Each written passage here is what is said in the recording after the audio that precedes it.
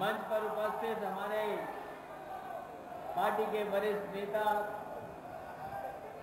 पूर्व मंत्री एमएलसी वीरेंद्र सिंह जी, हमारी पार्टी के कैबिनेट के मंत्री शाहिद मंजूर साहब,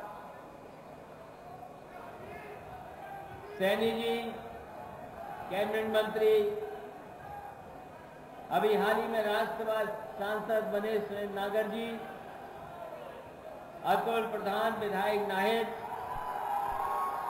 गौरव स्वरूप मुकेश चौधरी से लेकर के बहुत सारे हमारे पार्टी के अध्यक्ष त्यागी और दूसरे किरण कश्यप जी, सैनी जी,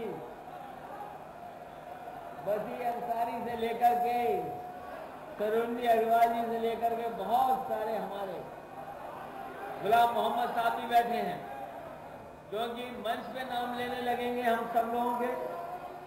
तो मंच भी बड़ा है और हमारे दाएँ वाले बोलेंगे प्रधान जी से लेकर के और लोग हमारे नाम को छूट गए। इसलिए उमा किरण जी से लेकर के तमाम हमारे राजकुमार यादव, सभी समाजवादी नेता जो मंच पर बैठे हैं, सामने हमें दिखाई दे रहे हैं सभी समाजवादी पार्टी के जिम्मेदार कार्यकर्ता, नेता, साथी। और इस सभा में उपस्थित बड़ी संख्या में बुज़ुर्ग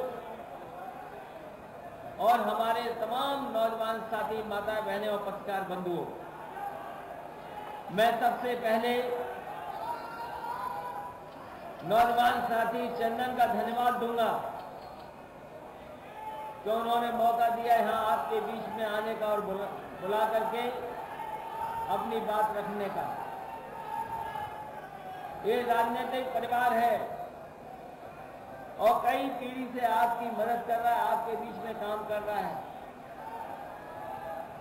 बाबू नारायण सिंह जिन्होंने ऊंचाइयों तक विधानसभा से लेकर के जो सबसे ऊँची कुर्सी है उप मुख्यमंत्री तक पहुँचे। उनके पिताजी हमारी पार्टी में भी रहे। पार्टी का नेतृत्व यहाँ पर किया। विधायक रहे, सांसद भी चुन करके गए हैं। हमसे पहले पूर्व में तमाम हमारे साथियों ने उनके साथ रह करके जो अनुभव किया था, जो उनके साथ काम कर करके उनके जीवन के बारे में चर्चा की है आपसे। इस परिवार ने तमाम नेता दिए और लगातार आपके बीच में रहे हैं सेवा की है कोई व्यक्ति ऊंचाई तक तभी पहुँचता है जब वो सेवा करता है। लोगों के बीच में रहता है, लोगों के दुख दर्द को समझता है।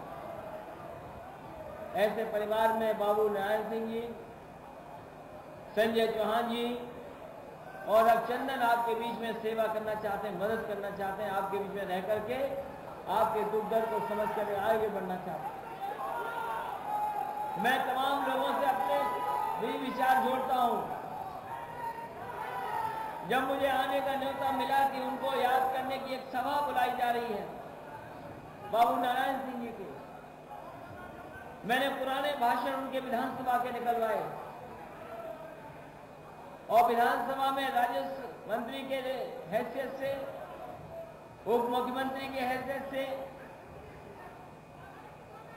और जब भी मंत्री पद के हैसियत से जिन्होंने बातें रखी उनको मैंने देखा और पढ़ने का मौका मिला मुझे। वो गरीबों के प्रति और गाँव के प्रति चिंतित थे कि गरीबों की समस्या का समाधान कैसे हो। हमारा किसान है, जिसको तहसील में जाना पड़ता है, डीएम के चक्कर काटना पड़ता है, उसके तमाम समाधान कैसे हो? और यही ज़िम्मेदारी है नेतृत्व करने वालों की। और इसी को गवर्नेंस कहते हैं कि आखिरकार सरकार चलने का तरीका क्या है? जहाँ लोगों को सहूलियत मिले, अधिकारियों के चक्कर न काटने पड़े, किसी की सिफारिश न करनी पड़े और काम हमारा हो जाए तो उसी को हम गवर्नेंस कहते हैं। वो अबू नारायण सिंह जी, जो समस्याओं का समाधान कैसे हो, लगातार उन्होंने प्रयास किया। हमारे साथी अगर सदन का भाषण निकलवाएँगे तो आप जानेंगे कि किस तरीके से अपने भाषणों में उन्होंने किसानों के दुख दर्द को समझ करके और उनकी तकलीफों को जो लेखपाल पटवारी, तहसील की जो समस्याएँ हैं, जो उस समय थी, आज भी है, बदली नहीं है।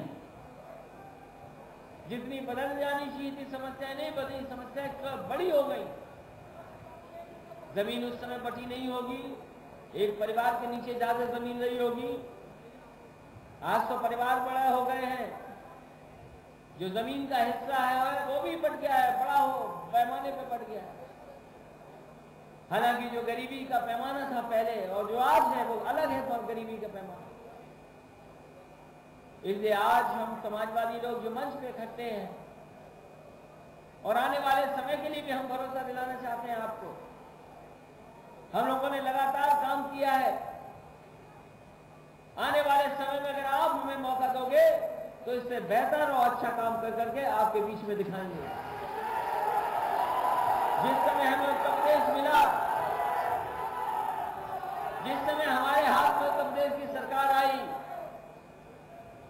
आप जानते होंगे किसकी सरकार थी? हम तो बड़े सम्मान से बोलते हैं, लेकिन हमारे तो मुजफ्फरनगर में है सीएम अखिलेश यादव और उन्होंने दुर्घटना में मारे गए किसानों के परिजनों को पाँच पाँच लाख रुपए के चेक देने की बात कही है। इसके अलावा तमाम सौगात मुजफ्फरनगर को देने पहुँचे हैं सीएम अखिलेश यादव। अपनी सरकार की उपलब्धियों का बखान करते हुए सीएम अखिलेश यादव इस मंच से नज़र आ रहे हैं। उनतालीस योजनाएँ हैं जिनका लोकार्पण किया है और कुछ योजनाओं का शिलान्यास हुआ है। तकरीबन डेढ़ हज़ार लोगों को उन्होंने साइकिलें बांटी है। चार सौ बासठ छात्रों को लैपटॉप बांटे हैं और इसके अलावा 270 लोगों को राष्ट्रीय पारिवारिक योजनाओं के तहत मदद दी गई है। तो ये तमाम काम किए हैं अखिलेश यादव ने। ये बताने के लिए, अपनी उपलब्धियों को बताने के लिए जनता के बीच आज वो हैं। और मुजफ्फरनगर में आज है सीएम अखिलेश यादव, लेकिन इसके पहले अलग अलग जगहों पर सीएम की रैलियाँ नज़र आई हैं। वो भले ही बुंदेलखंड हो या फिर उत्तर प्रदेश के और इलाके।